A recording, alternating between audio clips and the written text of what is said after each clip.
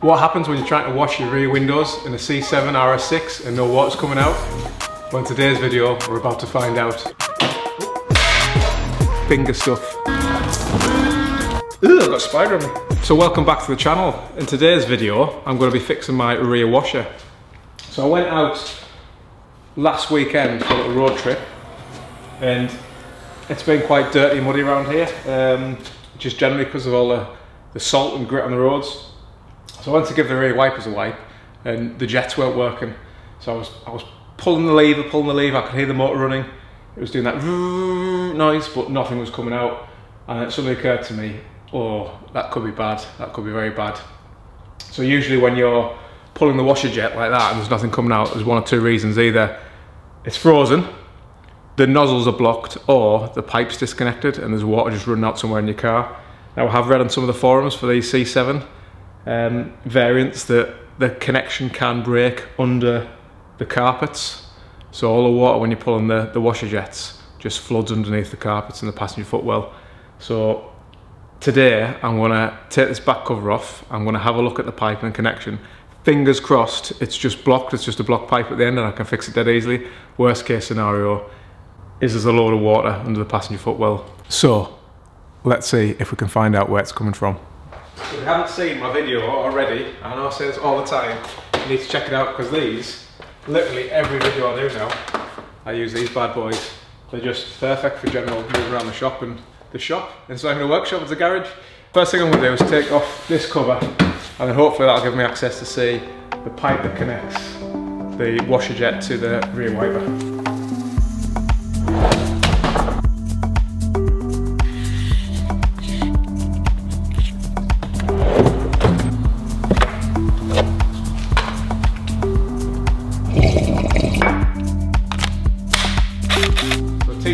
T25 Torx and we dack dack. Take it out nice and quick.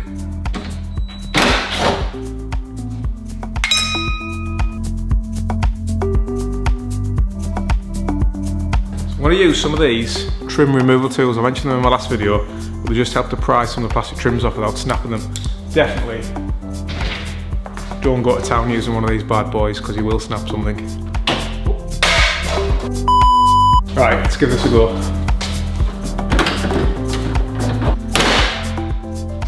That's it, a bit of force, it's off. There's a couple of wire clips in here, one for the light and one for the catch release. So I'm just going to un unclip these carefully.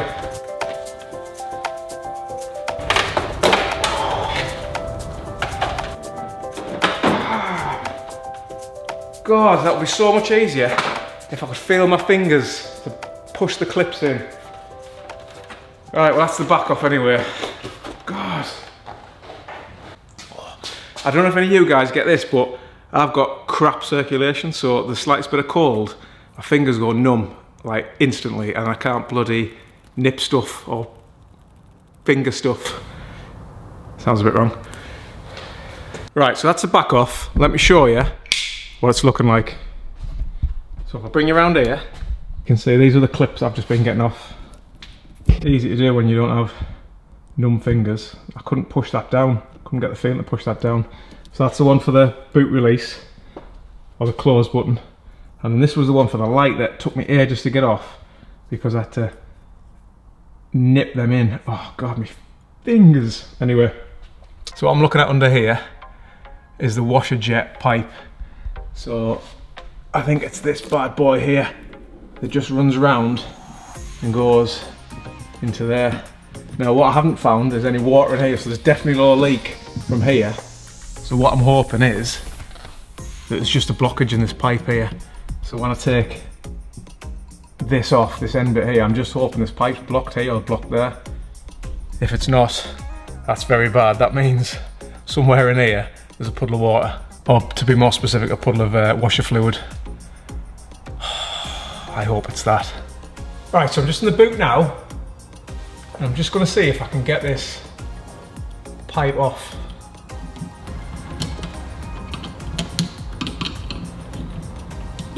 There we go, so just taking off this little metal clip there.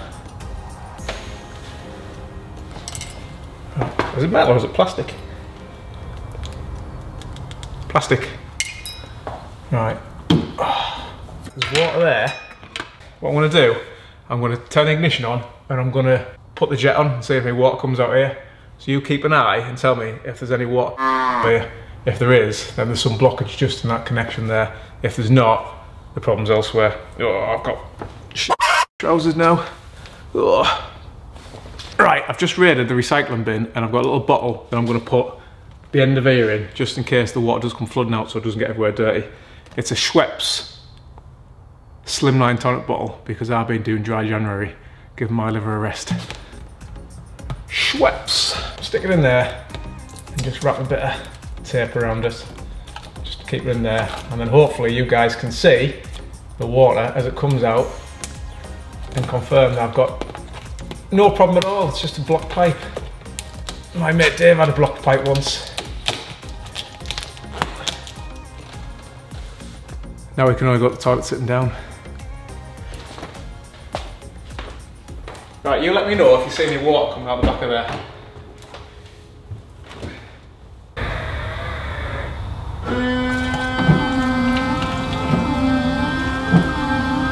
Oh, that sounded promising. Yes, it's not under the carpets. Thank God for that. Right, so that is fantastic news. So let's find out where the blockage is in Dave's uh, in my pipes. Now I know some of you may be saying, have you checked the little bit that goes on the end? Yes I have, and I've put the pins in the end and that wasn't the issue. It's a blockage in, in here. So I think what I'm gonna do is I'm gonna get the air compressor and I'm just gonna give it a blaster, compressed air, and see if we can blow any of the crap that might be inside out.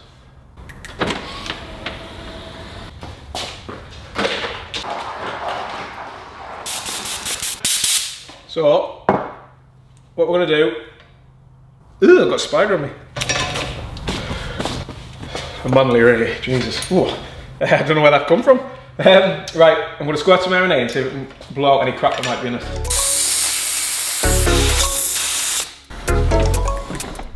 Right, so what I'm expecting is some crap to have come out of here, but it doesn't look to be a great deal. What I might do is I might try and see if I can blow at one end and feel at the other end. You get what I mean? I'm gonna blow some air in one end and see if I can feel it with my finger at the other end.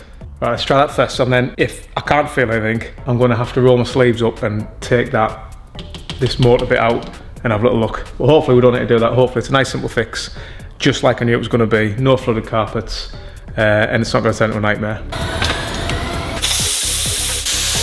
I can feel it. It's not amazing pressure, but I think I'm gonna do, I'm gonna connect the pipe again, and then just test the water, test the washer, see if anything comes out. If it doesn't, I'm gonna have to take this little nipple off and give it a good clean. That's what she said. Right, I'm gonna put the washer jet on and I'm gonna see if any water squirts out this hole. Let me know if we've got a squirter.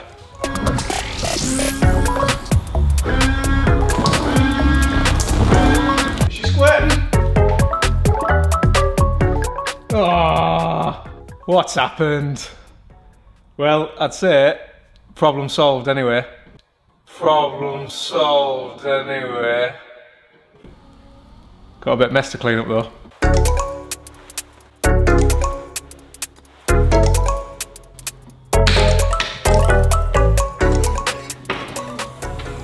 Okay, so that wasn't too bad of a fix. Oh, there's water all over it. Towel. This is the wife's gym towel, don't tell her.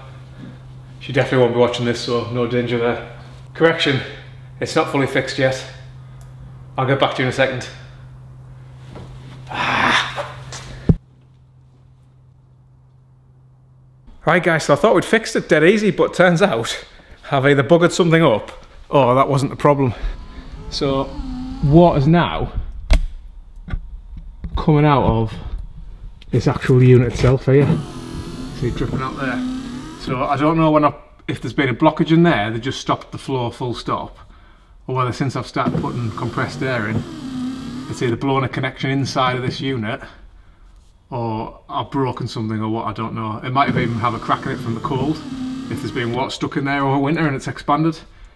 Anyway, that easy, simple fix that I got a little bit too confident too soon, out my way, um, means I'm going to have to take the motor off now and have a proper look. Jesus. Right, come on then.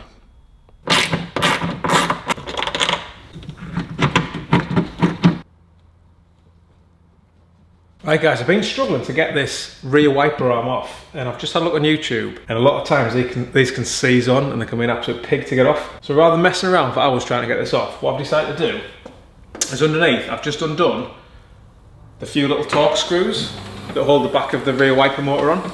So as you can see, I've just taken the back of this motor housing off.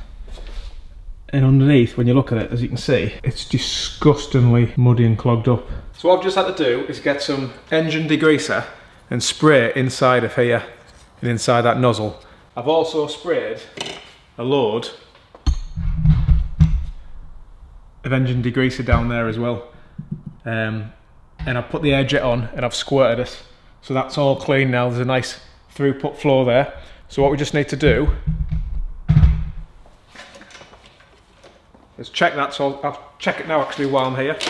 So, there you go. That's nice and clean now. So I'm going to put this back together and then we'll give it a quick test and see if it's still leaking. If it's not, then we can put the rest of the car back together.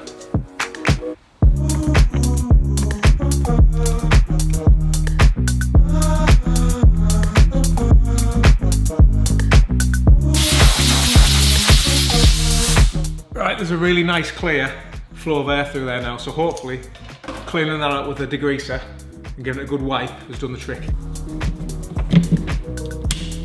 Right, I'll turn the ignition on. I'll do the washer jets. You tell me if that's leaking or not.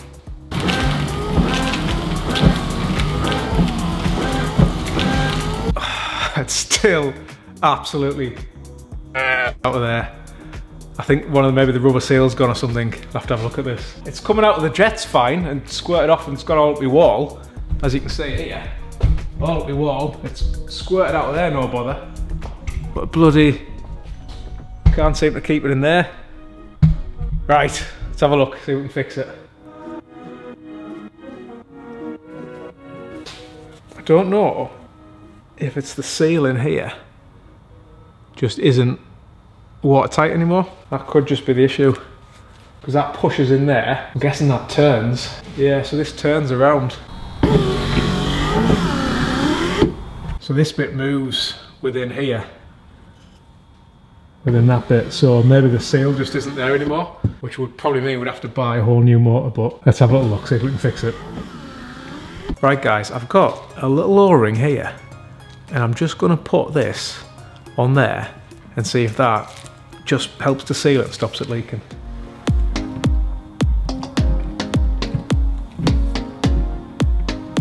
What I'll do, just put this back on, see if it clips in.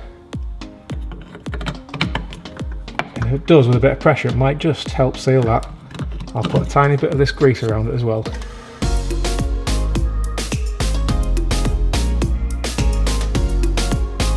So we'll put this back on and hopefully that o-ring with that grease round will just provide a bit of a watertight seal there and it'll stop it leaking. If it doesn't, I'll have to buy a new rear wiper unit, about £40. Not the end of the world, but it would have been nice to have fixed it. But as always, these five, 10 minute quick jobs always end up into like a five hour round, don't they? Right, you guys watch that, let me know if it leaks again.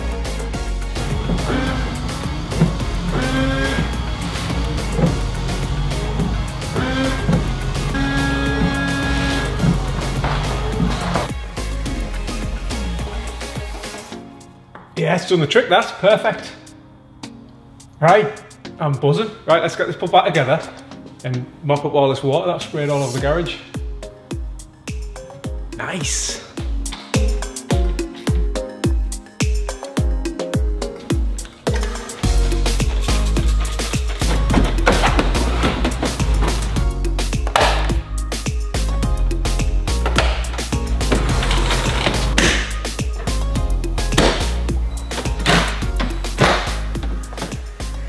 So that's all back together now. So it wasn't quite the straightforward fix that we first thought, but we got there in the end with a little bit of ingenuity. Um, hopefully that's done the trick now and we shouldn't have any more problems in the near future, but worst case scenario is we can just change that unit for about 40 pounds. We've got some really cool videos coming up. In fact, the next big video that's about to drop, we're gonna be stripping the whole front end of the car down. Complete bumpers off, headlights out, radiator, coolers off, most of the inside of the engine, not the inside of the engine, but the top of the engine's coming off because we've got some parts that need changing that you have to get right in the bowels of the engine to do. So that's going to be an interesting one, guys. As you know, I'm no trained mechanic. I'm certainly no Audi technician, but we've got loads of tools in here. We've got a little bit of confidence and we've got some knowledge and research gained from YouTube. So together, we'll give it a go. It could go horrifically wrong. It could be very expensive, but either way, we'll find out together. So until then, guys, I'll see you in the next one.